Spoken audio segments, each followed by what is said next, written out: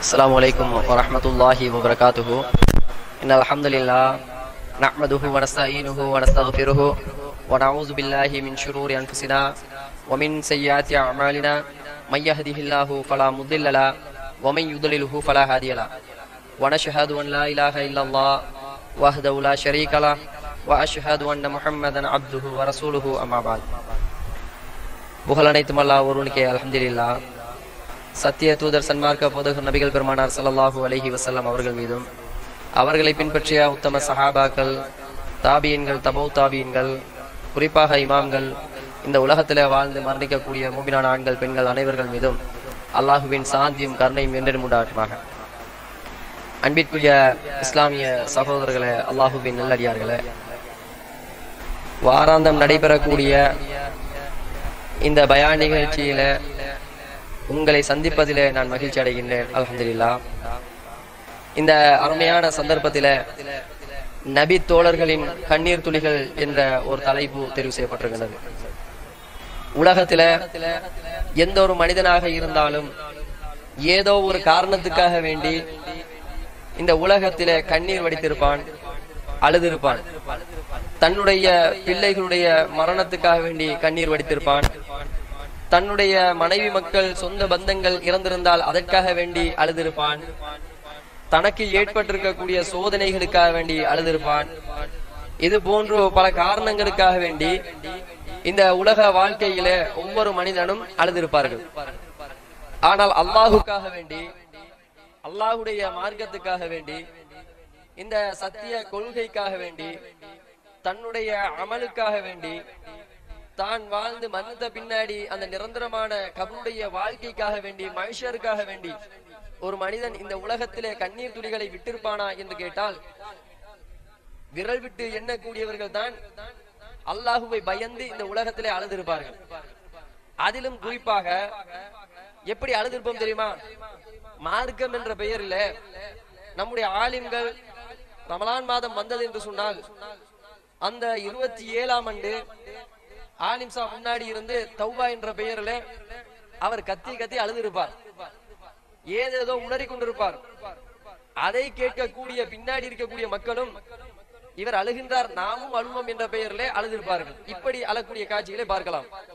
அல்லது ஒரு இமாம் தொழுவிக்கும் போது அந்த ஓதக்கூடிய கிராத்தை வைத்து அவர் அழுதிருப்பார். பின்னாடி இருக்கக்கூடிய மௌமுங்களும் இமாம் அழுகின்றார் நாமும் அழுவோம் என்ற பெயரிலே அழுதிருப்பார்கள். இப்படி ஒரு சில சந்தர்ப்பங்களில் அழக்கூடிய காட்சிகளை பார்க்கின்றோம். ஆனால் அழுகையை பொறுத்த மட்டிலே நபிகள் நாயகம் சல்லா அலிஸ்லாம் அவர்கள் சொல்கின்றார்கள் உங்கள் இபாதத். அழுகை என்று சொன்னால் அல்லாஹுக்காக பயந்து கண்ணீர் வடிப்பது என்பது ஒரு இபாதத்தாக இருக்கின்றது. அதனால் தான் அல்லாவுடைய தூதர் சொல்லும் போது சொன்னார்கள் அல்லாஹுக்கு இந்த உலகத்திலே மிகவும் விருப்பமான இரண்டு துளிகள். ஒன்று அல்லாஹுக்கு பயந்து வடிக்கக்கூடிய கண்ணீர் துளி. இன்னொன்று அல்லாஹுக்கா வேண்டி சிந்தக்கூடிய இரத்த துளி என்று சொல்லி அல்லாஹுடைய தூதர் சல்லல்லாஹு அலஹி வசலாம் அவர்கள் சொன்னார்கள். அதே போன்று நபிகள் நாயகம் சல்லல்லாஹு அலி வஸல்லம் அவர்கள் மேலும் சொல்லுகின்றார்கள் நாளை மறுமையிலே நரகத்திலே இரண்டு கண்களை அந்த நரகம் தீண்டாது என்று சொல்லி அண்ணலம் பெருமகனார் சல்லல்லாஹு அலஹி வசலாம் அவர்கள் சொல்கின்றார்கள். ஐநா நீலா தமசு இரண்டு கண்களை நாளை மறுமையிலே நரகம் தீண்டாது. ஐனுன் பக்கத் மின் ஹஷியத்தில்லா அல்லாஹுவின் அச்சத்தால் அழுத கண்கள். யார் அல்லாஹுவை நினைத்து தன்னுடைய பாவ செயல்களை நினைத்து நாளை மறுமையிலே நமக்கு நரகம் கிடைத்து விடுமோ என்று பயந்து நடுங்கி யாரெல்லாம் இந்த உலகத்திலே கண்ணீர் வடித்தார்களோ அவர்களுடைய கண்களை நரகம் தீண்டாது. ஐனுன் பாத்தத்தாஹி சபீலில்லா அல்லாஹுக்காக வேண்டி பாதுகாப்பிற்காக வேண்டி விழித்திருந்த கண். என்று சொல்லி நபிகள் நாயகம் சல்லல்லாஹு அலைஹி வஸல்லம் அவர்கள் இரண்டு கண்களை சொல்லுகின்றார்கள் ஒன்று அல்லாஹுக்காக வேண்டிய அல்லாஹ்வுடைய அச்சத்தால் அழுத கண்ணீர். இரண்டாவது அந்த அல்லாவுக்காக வேண்டி விழித்திருந்த கண் என்று சொல்லி நபிகள் பெருமானார் சல்லல்லாஹு அலைஹி வஸல்லம் அவர்கள் சொல்கின்றார்கள். அதே போன்று நபிகள் நாயகம் சல்லல்லாஹு அலைஹி வஸல்லம் அவர்கள் மேலும் சொன்னார்கள். நாளை மறுமையிலே அல்லாஹு தாலா ஒவ்வொரு மனிதனுடைய அந்த தலைக்கு அருகாமையிலே சூரியனை கொண்டு வந்து நிப்பாட்டுவானாம். இன்றைக்கு நிதானமாக சிந்தித்து பாருங்கள். எத்தனையோ மயில்களுக்கு அப்பால் இருக்கக்கூடிய அந்த சூரியனுடைய ஒளியையே நம்மால் தாக்கு பிடிக்க முடியவில்லை. கொஞ்சம் நாம வெளியில போனோம்னு சொன்னா நமக்கு தண்ணீர் கேட்கின்றது. நாம கொஞ்சம் வெயில்ல போய் இருந்தோம்னு சொன்னா நாம நிழலை தேடி ஓடுறோம். நமக்கு கூழ் கேக்குது.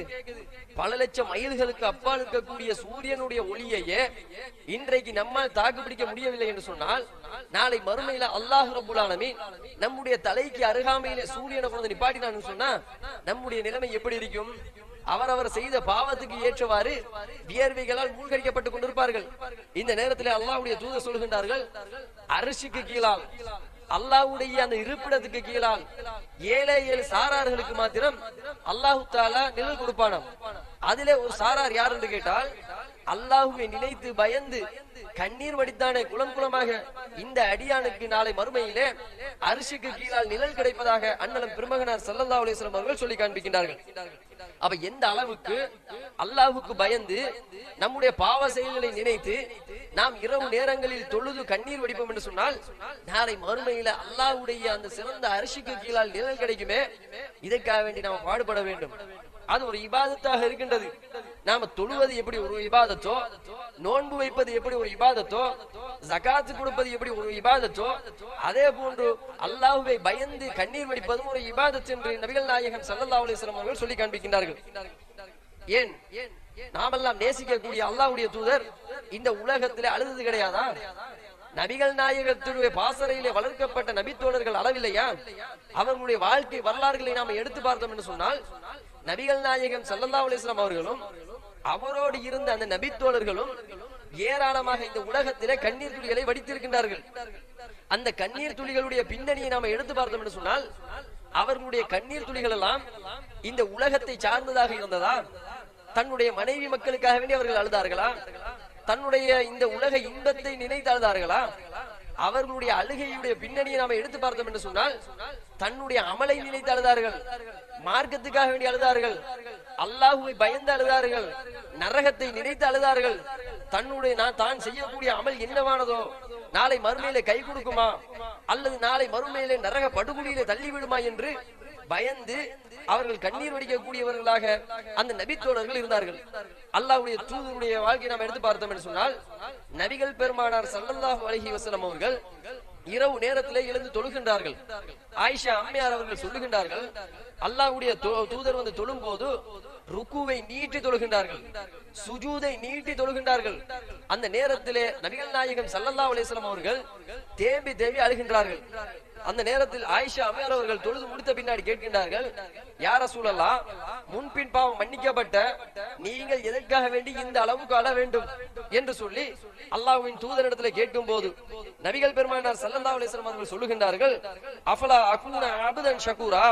ஆயிஷாவே நான் ஒரு நல்ல அடியானாக இருக்கக்கூடாதா? ஏனென்று கேட்டால் சூரத்துல் ஆலை இம்ரானிலே வரக்கூடிய நூத்தி தொண்ணூறு நூத்தி தொண்ணூத்தி ஓராவது வசனத்தை அந்த வசனம் நேற்று இரவு இறக்கப்பட்டது. எனவே அதை நினைத்து நான் அழுகின்றேன் என்று சொல்லி நபிகள் நாயகம் சல்லல்லா அலிஸ்லாம் அவர்கள் ஆயிஷா அம்மையாரிடத்திலே சொல்லுகின்றார்கள் என்று சொன்னால் முன்பின் பாவம் மன்னிக்கப்பட்ட அல்லாஹ்வுடைய தூதரே அழுகின்றார்கள் என்று சொன்னால் மறுமைக்கு பயப்படுகின்றார்கள் என்று சொன்னால் நானும் நீங்களும் எந்த அளவுக்கு மறுமைக்கு பயப்பட வேண்டும்? எந்த அளவுக்கு அல்லாவுக்கு பயந்து கண்ணீர் வடிக்க வேண்டும் என்பதை இந்த நேரத்தில் புரிந்து கொள்ள வேண்டும். அதே போன்று ஒரு சந்தர்ப்பத்திலே அல்லாவுடைய தூதர் இரவு நேரத்தில் தொழுது கொண்டிருக்கின்றார்கள். ஆயிஷா அம்மையாருக்கு என்ன செய்தியை சொன்னார்களோ அதே போன்று நபித்தோழர்கள் சொல்லுகின்றார்கள். அல்லாவுடைய தூதர் இரவு நேரத்தில் தொழுகின்றார்கள். விம்புகின்ற சத்தம் கேட்கின்றது. முணங்குகின்ற சத்தம் கேட்கின்றது. உடனடியாக சகாபாக்கள் போய் பார்க்கின்றார்கள். அல்லாவுடைய தூதர் அழுத வண்ணம் இருக்கின்றார்கள். இந்த நேரத்தில் அந்த சகாபாக்கள் சொல்கின்றார்கள் தொழுகையிலே ரசூலுல்லாஹ் அழுதார்கள் என்று. அப்ப நபிகள் நாயகம் தொழுகையிலே அழுதார்கள் என்று சொன்னால் நாம் எத்தனை வருடமாக தொழுகின்றோம்? நாம் இருபது வருடமாக தொழுகின்றோம். முப்பது வருடமா தொழுகின்றோம். நாற்பது வருஷமா தொழுகிறோம். ஆனால் தொழக்கூடிய நேரத்துல அல்லாஹுடன் பேசக்கூடிய ஒரு இடமாக இருக்கின்றது. அல்லாஹுவை நினைவு கூறக்கூடிய ஒரு முக்கியமான ஒரு இடமாக இருக்கின்றது. எனவே சுஜூதில் இருந்து நான் ஒவ்வொரு நாளும் செய்யக்கூடிய பாவத்தை நினைத்து அல்லாவிடத்துல மன்றாடி நாம் உண்மையிலே கண்ணீர் வடித்ததுண்டா? கண்ணீர் வடித்திருக்கின்றோமா என்று பார்த்தால் நம்முடைய கண்களில் இருந்து கண்ணீரே வந்தது கிடையாது. அதனால் தான் ஒரு பழமொழி கூட சொல்வார்கள். உலகத்துல என்ன பழமொழி சொல்வார்கள் தெரியுமா? உள்ளம் வறண்டு விட்டது என்று சொன்னால் கண்கள் வறண்டு விடும் என்று சொல்வார்கள். உள்ளம் வறண்டு போனால் கண்களில் இருந்து கண்ணீர் வராது. நம்முடைய உள்ளங்கள் எல்லாம் அல்லாஹுவை பயப்படாத அல்லாஹுவை நினைக்காத உள்ளமாக இன்றைக்கு மாறிக்கொண்டிருக்கின்றது. காரணம் உலக மோகத்தால் உலகத்தில் இருக்கக்கூடிய இன்பங்களால் நம்முடைய வாழ்க்கை அமைந்திருக்கக்கூடிய காரணத்தினால் அல்லாஹுடைய அச்சம் நம்முடைய உள்ளத்திலே வளா- வராமல் இருக்கக்கூடிய காட்சிகளை நாம் பார்க்கக்கூடியதாக இருக்கின்றது. ஆக அன்பார்ந்தவர்களே நாம் அழக்கூடிய அழுகை அல்லாவுக்காக வேண்டிய அழக்கூடியதாக இருக்க வேண்டும். நிதானமா உலகத்தை சிந்திச்சு பாருங்க. இன்றைக்கு எவ்வளவோ அழுகின்றோம். நம்முடைய தாய்க்கு கொஞ்சம் சோகம் இல்லைன்னு சொன்னா அதை நினைத்து அழுகின்றோம். நம்முடைய பிள்ளைக்கு ஏதாவது ஒரு சோதனை வந்ததுன்னு சொன்னால் அதை நினைத்து கண்ணீர் வடிக்கின்றோம். இப்படி கண்ணீர் வடிக்கக்கூடிய நாம் தாயை விட அதிகமாக இறக்கக்கூடிய ரப்புல் ஆலமீன் அவனை பயந்து அழச் சொல்லுகின்றான். அவனை நினைத்து கண்ணீர் வடிக்க சொல்லுகின்றான். அவனிடத்துல கையேந்தி அழச் சொல்லுகின்றான். ஆனால் நம்முடைய கண்களிலிருந்து ஒரு துடி அளவு கூட கண்ணீர் வராமல் இருக்கின்றது என்று சொன்னால் நம்முடைய உள்ளங்கள் எந்த அளவுக்கு வறண்டு போய் கிடக்கின்றது என்பதை தான் நாம் பார்க்க வேண்டும். அதே போன்று அல்லாவுடைய தூதர் குர்வான் ஓதுகின்ற சந்தர்ப்பத்திலே அழுத வரலாறுகள் உண்டு. இப்னு ஒரு சந்தர்ப்பத்தில் அல்லாவுடைய தூதர் சொல்கின்றார்கள் இப்னு அப்பாஸே குர்வானை கொஞ்சம் மோதுங்கள் அந்த நேரத்தில் இப்னு அப்பாஸ் கேட்கின்றார் யார சொல்லலா உங்களுக்கு தானே வகி வருகின்றதே. உங்களுக்கு வகி வரக்கூடிய நேரத்தில் நான் எதுக்காக வேண்டி ஓத வேண்டும்? என்று அல்லாவுடைய தூதரிடத்தில் கேட்கின்றார்கள். அந்த நேரத்தில் நபிகள் பெருமானார் சல்லல்லாஹு அலைஹி அவர்கள் சொல்கின்றார்கள் இப்னு அப்பாஸே அடுத்தவர் ஓத நான் கேட்க விரும்புகின்றேன். எனவே குர்ஆனை ஓதுங்கள் என்று சொல்லுகின்றார்கள் அந்த நேரத்தில் இப்னு அப்பாஸ் ரலியல்லாஹு அவர்கள் சூரத்துல் மாயிதாவை ஓதிக்கொண்டிருக்கின்றார்கள் இடையிலே ஒரு வசனத்தை ஓதும் போது நபிகள் நாயகம் சொல்கின்றார்கள் இப்னு அப்பாஸை நிறுத்துங்கள். நிறுத்தி இப்னு அப்பாஸ் ரசூலுல்லாவுடைய முகத்தை பார்க்கின்றார். கண்களில் இருந்து மல மல என்று கண்ணீர் வடிக்க ஆரம்பிக்கிறார். இந்த நேரத்தில் இப்னு அப்பாஸ் கேட்கின்றார் யார சொல்லலாம் நீங்கள் தானே ஓத சொன்னீர்கள்? நான் ஏதாவது தப்பா ஓதிட்டேனா நீங்க தானே குரான் ஓத சொன்னீங்க. அதனால தானே நான் ஓதினேன் அந்த நேரத்துல ரசூலுல்லா சொல்கின்றார்கள் இல்லை இப்னு அப்பாஸே நீங்கள் இப்போது இறுதியாக ஓதிய வசனம் என்ன தெரியுமா? ஃபகைஃப இதா ஜஅனாக மின் குல்லி உம்மத்தின் பி ஷஹீத் வ ஜஅனா பிக ஹாஉலாய் ஷஹீதா. சென்ற ஒவ்வொரு சமுதாயத்துக்கும் உண்மை சாட்சியாளராக அல்லாஹ் கொண்டு வந்தால் எப்படி இருக்கும் என்று? அல்லாஹ் எனக்கு இந்த வசனத்தை இறக்கினானே. இந்த வசனத்தை தான் நீங்கள் ஓதினீர்கள். மறுமையில அல்லாஹ் ரபுல் ஆலமீன் ஒவ்வொரு உம்மத்துக்கும் என்ன சாட்சியா கொடுத்துட்டான்னு சொன்னா என்னுடைய நிலைமை எப்படி இருக்கும் என்று நினைத்து பார்த்தேன். அதனால் கண்ணீர் வடித்தேன் என்று சொல்லி நபிகள் பெருமானார் சல்லா அலிஸ்லாம் அவர்கள் சொல்லி காண்பிக்கிறார்கள். இன்றைக்கு எத்தனை தடவை குர்ஆனை நாம ஓதி இருப்போம் எத்தனை தடவை குருவான நாம படிச்சிருப்போம்? ஆனால் அந்த குருவான நாம பார்த்தோம் என்று சொன்னா நம்மளை பார்த்து பேசுற மாதிரியே இருக்கும். நாம குருவான படிக்கின்ற சந்தர்ப்பத்துல அந்த வசனங்கள் எங்களை பார்த்து பேசுற மாதிரி இருக்கும். சில சந்தர்ப்பங்கள்ல நாம போய் பேசியிருப்போம். அல்லாஹ் பொய்யை பற்றி பேசுவான். இப்ப யோசிப்போம் ஆஹா இந்த வசனம் எம்ம என்ன பார்த்து பேசுற மாதிரி இருக்குது? நான் இன்னைக்கு பொய்யோட பேசிட்டேனே. நாம அது பயந்து கண்ணீர் வடித்திருக்கின்றோமா? அதே போன்று எவ்வளவு அவதூறுகளை அள்ளி தெளிக்கின்றோம் அடுத்தவர்கள் மீது. அந்த அவதூறுகளை பற்றி நாம பேசியிருப்போம் புறம் பேசியிருப்போம். ஆனால் அந்த குர்ஆன் வசனத்தை நம்ம படிச்சு பார்க்கும் போது அல்லாஹ் சில வசனத்துல பயங்கரமா அவதூறை பத்தி சொல்லுவான். புறத்தை பத்தி பேசியிருப்பான். நீங்கள் புறம் பேசுவதாக இருந்தால் உங்களுடைய சகோதரனுடைய மாமிசத்தை சாப்பிடுவதை போன்று என்று சொல்லியிருப்போம் அந்த வசனத்தை நம்ம படிச்சிருப்போம். ஆனா நம்முடைய உள்ளத்துல பயம் வருதா? அல்ல இந்த மாதிரி சொல்லிட்டானே. நம்முடைய கண்களில் இருந்து கண்ணீர் வருதா? கிடையாது. அப்ப நரகத்தை பத்தி படிக்கிறோம். நரகத்துக்கு அஞ்சு அழுகின்றோமா? கிடையவே கிடையாது. அல்லாஹ்வுடைய தூதர் குர்வானை ஓதும் போது அழுதிருக்கின்றார்கள் என்ற வரலாறை காணக்கூடியதாக இருக்கின்றது. அதே போன்று நபிகள் நாயகத்தினுடைய பாசறையிலே வளர்க்கப்பட்ட அந்த நபி தோழர்கள் கண்ணீர் துளிகளை விட்டார்களே எதற்காக வேண்டி விட்டார்கள்? அவர்களுக்கு இந்த உலக இன்பத்தை அந்த எதிரிகள் பறித்து விட்டார்கள் என்பதற்காக வேண்டி கண்ணீர் விடுத்தார்களா? தன்னுடைய மனைவி மக்களை எல்லாம் விட்டு நான் ஹிஜ்ரத் செல்ல போகின்றனே என்பதற்காக வேண்டி அழுதார்களா? கிடையவே கிடையாது. அவர்களுடைய அந்த வரலாறை நாம பார்க்கும் போது நபிகள் நாயகம் சல்லல்லா அலைஹி செல்லம் அவர்கள் ஒரு சந்தர்ப்பத்துல மிம்பரில் இருந்து பயங்கரமாக உபதேசம் செய்கின்றார்கள். ஒரு உரை நிகழ்த்துகின்றார்கள். எப்படிப்பட்ட உரை என்று சொன்னால் நபிகள் நாயகத்தினுடைய தோளில் இருக்கக்கூடிய அந்த துண்டு கீழே விழுகின்றது. கண்கள் சிவக்கின்றது. சத்தம் உயர்கின்றது. அந்த நேரத்திலே நரகத்தை பற்றி எச்சரிக்கின்றார்கள்.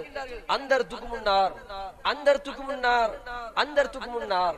நரகத்தை நான் உங்களுக்கு எச்சரிக்கின்றேன் என்று சொல்கின்றார்கள். சொல்லக்கூடிய அந்த நேரத்திலே உடனடியாக அந்த நபித்தோழர்கள் கீழே இருந்த நபித்தோழர்கள் எல்லாம் கண்ணீர் வடித்தார்கள் அழுதார்கள் என்ற சம்பவத்தை பார்க்கக்கூடியதாக இருக்கின்றது. அப்ப நரகத்தை பற்றி எச்சரிக்கும் போது அந்த நபித்தோழர்கள் கண்ணீர் வடித்தார்கள் என்று சொன்னால் இன்றைக்கு எவ்வளவு உபதேசத்தை நாம் கேட்கின்றோம்? நரகத்தை பற்றி எவ்வளவு பயங்களை கேட்கின்றோம்? நரகத்தினுடைய அந்த பயங்கரமான காட்சிகளை எல்லாம் இன்றைக்கு நாம் படிக்கின்றோம். ஆனால் படித்துக்கும் கூட அந்த பயம் நம்ம இடத்துல வரவில்லை என்று சொன்னால் நம்ம இடத்துல அல்லாவுடைய அச்சம் இருக்கின்றதா? அல்லாவுடைய பயம் இருக்கின்றதா? நரகத்துக்கு நாம் அஞ்சுகின்றோமா என்பதை நாமே ஒரு கேள்வியாக கேட்டு கேட்க வேண்டும். அதே போன்று அபுபக்கர் சித்திக் ரலியல்லாஹு தஆலானு அவர்கள் அவர்கள் அழக்கூடியவர்களாக இருந்தார்கள். எந்த அளவுக்கு அழக்கூடியவர்களாக இருந்தார்கள் என்று சொன்னால் நபிகள் நாயகத்தினுடைய மரண படுக்கையில இருக்கும்போது நபிகள் நாயகம் ஸல்லல்லாஹு அலிஸ்லாம் அவர்கள் ஆயிஷா அம்மையாரை அழைத்து சொல்கின்றார்கள். ஆயிஷாவே உங்களுடைய தந்தை வாப்பாவை அந்த இடத்துல இருந்து தொழுவிக்க சொல்லுங்க. அந்த நேரத்துல ஆயிஷா அலியதவர்கள் சொல்லுகின்றார்கள் காண பக்கான் என்னுடைய தந்தை அபுபக்கரோ அழக்கூடியவராக இருக்கின்றார். அவர் தொழுகையிலேயே என்னுடைய பாப்பா அழுவாரு. உங்களுடைய இடத்தில் நிக்க சொன்னால் எந்த அளவுக்கு அழுவாரு?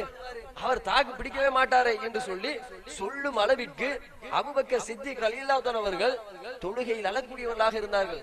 நபிகள் நாயகத்தை நினைத்து கண்ணீர் வடிக்கக்கூடியவர்களாக இருந்தார்கள் என்ற வரலாறை காணக்கூடியதாக இருக்கின்றது. அதே போன்று ஜெயித் பின் சாபித் என்று சொல்லக்கூடிய ஒரு நபித்தோழர். அடிக்கடி பள்ளிக்கு வந்து செல்வார். ஒரு சந்தர்ப்பத்துல இரண்டு நாளா பள்ளிக்கு காணவில்லை. நபிகள் நாயகத்திடத்துல இருந்த ஒரு வளமை என்னவென்று சொன்னால் பள்ளிக்கு வந்து கொண்டிருக்கக்கூடிய ஒரு நபித்தோழர் திடீரென்று வராமல் விட்டார்கள் என்று சொன்னால் அவரை சுகம் விசாரிப்பார்கள் நலம் விசாரிப்பார்கள். ஆனா நம்மிடத்துல அந்த பழக்கமே இல்லை. இன்றைக்கு கொள்கைவாதிகள் என்று சொல்லக்கூடிய நாம் இன்றைக்கு எத்தனையோ கொள்கைவாதிகளோடு பழகுகின்றோம். பள்ளிக்கு அடிக்கடி வரக்கூடியவர்கள் ஒரு நாளைக்கு பள்ளிக்கு வரலன்னு சொன்னா நாம போன் போட்டாவது கேட்கறது இல்ல ஒரு ரெண்டு நாள் பள்ளிக்கு வரலன்னு சொன்னா ஏன் நீங்க பள்ளிக்கு வரல? உங்களுக்கு ஏதாவது பிரச்சனையா? என்று நாம கேட்பது கிடையாது. ஆனால் அல்லாவுடைய தூத இடத்துல இந்த பழக்க வழக்கம் இருந்தது. ஏதாவது ஒரு நபித்தோழர் பள்ளிக்கு வரவில்லை என்று சொன்னால் காணவில்லை என்று சொன்னால் உடனடியாக நலம் விசாரிப்பார்கள். இந்த நேரத்துல சாத் மாத் என்று சொல்லக்கூடிய நபித்தோழரை அழைத்து சாத் மாதே இந்த சைத்பின் சாபித்தை இரண்டு நாளாக காணவில்லையே என்று கேட்கும் போது சாத் பின் முஆத் ரலியல்லாஹு அன்ஹு சொல்கின்றார்கள் யா சொல்லலாம் இந்த சைத் பின் சாபித்தோ என்னுடைய வீட்டுக்கு பக்கத்தில் இருக்கக்கூடியவர் நான் போய் விசாரித்து விட்டு வரட்டுமா என்று அனுமதி கேட்கின்றார்கள். அல்லாஹ்வுடைய தூதர் அனுமதி கொடுக்க சாத் பின் முஆத் ரலியல்லாஹு அவர்கள் அந்த சைத் பின் சாபித்துடைய வீட்டுக்கு செல்கின்றார்கள். அங்க போய் பார்த்தா சைத் பின் சாபித் அழுது கொண்டிருக்கிறார். கண்ணீர் வடித்தவராக இருக்கின்றார். இந்த நேரத்தில் சாத் பின் முஆத் ரலியல்லாஹு அன்ஹு கேட்கின்றார்கள் சைத் பின் சாபித்தே நீங்கள் எதுக்காக வேண்டி அழுகின்றீர்கள்? அல்லாஹ்வுடைய தூதர் உங்களை விசாரித்து விட்டு வர சொன்னார். நலம் விசாரிக்க சொன்னார். ஏன் இரண்டு நாளா நீங்க பள்ளிக்கு வரவில்லை என்று கேட்கின்றார்கள். இந்த நேரத்தில் அந்த செய்தின் சாபித் என்ன சொன்னார் தெரியுமா? நான் அல்லாவுடைய தூதருடைய சபையில் இருக்கக்கூடிய நேரத்தில் அல்லாஹ் ஒரு வசனத்தை நபிகள் நாயகத்துக்கு இறக்கினான். என்ன வசனம்? யா ஐயுஹல்லதீன ஆமனு ஈமான் கொண்ட விசுவாசிகளே லா தர்ஃபவு அஸ்வாத்தகும் ஃபௌக சௌத்தன் சௌத்தின் நபியி. நபியோடு இருக்கக்கூடிய நேரத்துல நபியுடைய குரலுக்கு மேலால் உங்களுடைய குரலை நீங்கள் உயர்த்த வேண்டாம் என்ற ஒரு வசனத்தை அல்லாஹு ரபுல் ஆலமீன் இறக்கினான். இதை நபிகள் நாயகம் ஓதி காண்பித்தார்கள். யார் நபியுடைய குரலுக்கு மேலாக குரலை உயர்த்துவார்களோ அதுக்குரிய தண்டனை என்ன தெரியுமா? அவருடைய பாவங்க அவருடைய நன்மைகள் எல்லாம் அளிக்கப்படும் என்று சொல்லி அந்த வசனத்தின் மூலமாக அல்லாஹ் இருக்கிறான் நாம் இவ்வளவு காலமா என்ன படிச்சிருக்கிறோம்?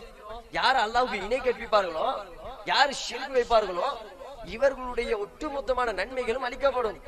என்றென்றும் நிரந்தரமாக நரகத்திலே இருப்பார். ஒமை யுஷ்ரிக் பில்லா பக்கத்து ஹர்ணம் அல்லாஹு அலைஹில் ஜன்னா அவருக்கு சுவர்க்கம் ஹராமாக்கப்பட்டுவிடும் என்று தானே நாம் படிச்சிருக்கிறோம். ஆனா இந்த வசனத்தின் மூலமாக அல்லாஹ் ரபுல்லாலும் என்ன சொல்கின்றான்? நபிகள் நாயகத்துக்கு முன்னாடி யார் தன்னுடைய குரலை உயர்த்துவார்களோ அவருக்கு வந்து அவருடைய நன்மைகள் எல்லாம் அளிக்கப்படும் என்று அல்லாஹ் சொல்லிவிட்டானே. எனவே அதை நினைத்து அழுகின்றேன் என்று சொல்லி அந்த சயித் பின் சாபித் ரலீலாத்தன் அவர்கள் சாத் பின் மாதிரத்திலே சொல்லுகின்றார்கள். அந்த நேரத்தில் சாத் பின் மாத் ரலீலாத்தன் அவர்கள் அல்லாவுடைய தூதரிடத்திலே வந்து இந்த விஷயத்தை சொல்லும் போது நபிகள் நாயகம் சல்லல்லா அலிஸ்லாம் அவர்கள் சொல்லுகிறார்கள் சயித் பின் சாபித்திடம் போய் சொல்லுங்கள். அவர் சுவர்க்கவாதி இது அவருக்காக வேண்டி இறக்கப்பட்ட வசனம் அல்ல. இயற்கையிலேயே அல்லாஹ் பிலாலுக்கு குரல் வளத்தை கொடுத்தான். இயற்கையிலேயே சைத் பின் சாபித்துக்கு அல்லா குரல் வளத்தை கொடுத்தான். இயற்கையான குரல் உள்ளவர்களுக்கு இந்த சட்டம் கிடையாது. யார் வேண்டுமென்றே அல்லாவுடைய தூதருக்கு முன்னாடி சத்தத்தை உயர்த்துகின்றார்களோ அப்படிப்பட்டவர்களுக்கு தான் இந்த வசனம் இறக்கப்பட்டது என்று சொல்லுங்கள் என்று சொல்லி சாத் பின் முஆத் அலி தஆலா சொல்லி அனுப்புவதை நாம் பார்க்கணும் ஆக அன்பார்ந்தவர்களே இந்த அளவுக்கு அந்த நபித்தோழர்கள் கண்ணீர் துளிகளை இந்த உலகத்திலே வடித்தார்கள் என்று சொன்னால் அல்லாஹ்வை நினைத்து அழுதார்கள் பயந்து அழுதார்கள். குர்வான் வசனம் இறங்கும் போது அதை நினைத்து நினைத்து அழுதவர்களாக இருந்தார்கள்.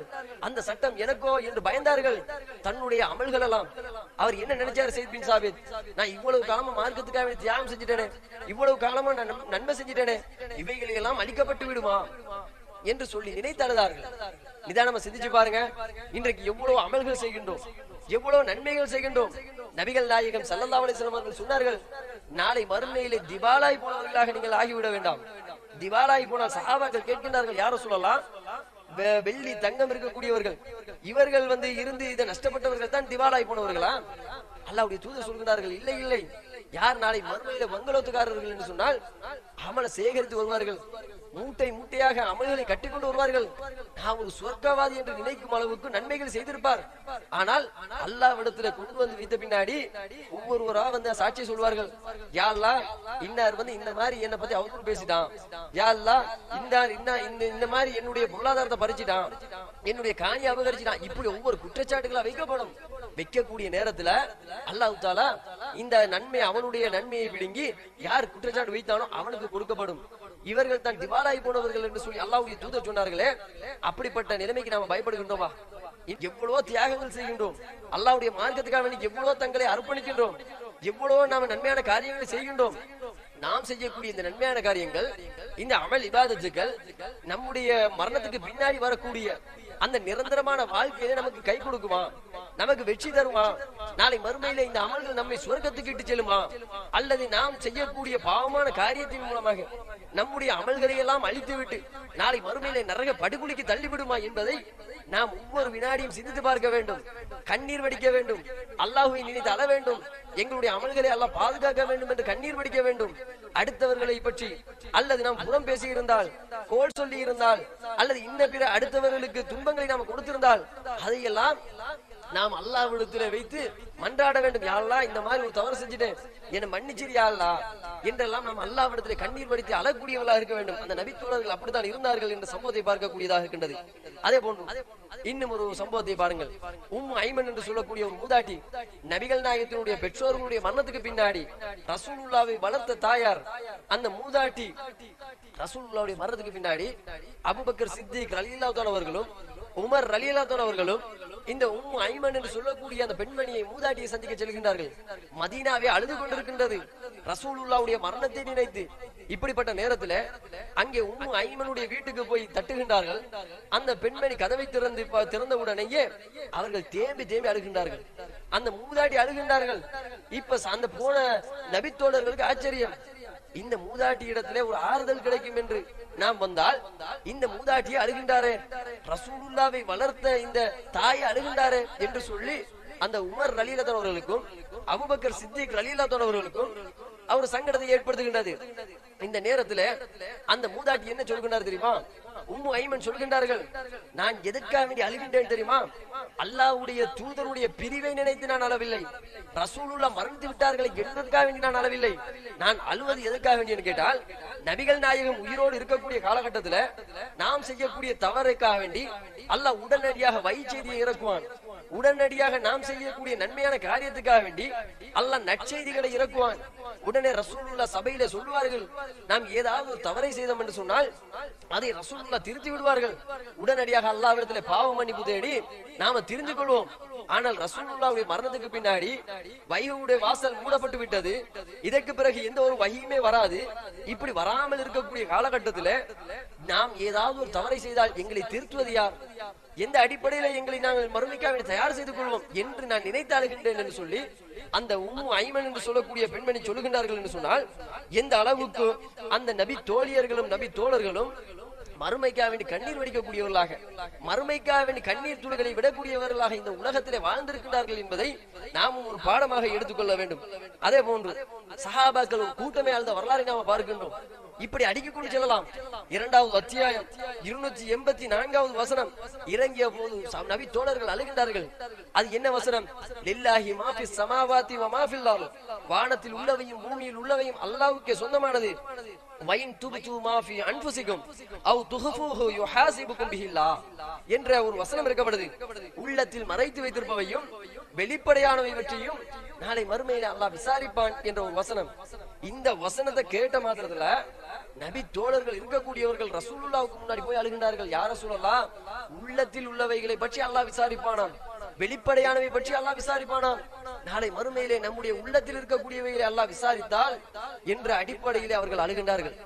அதுக்கு பிறகு ரசூலுல்லாவுக்கு மீண்டும் இருநூத்தி எண்பத்தி ஐந்தாவது வசனத்தின் மூலமாக அல்லாஹ் அந்த நபி தோழர்களை ஆறுதல் படுத்துகின்றான். அதுக்கு பிறகு அழுகை விட்டார்கள் என்று பார்க்கின்றோம்.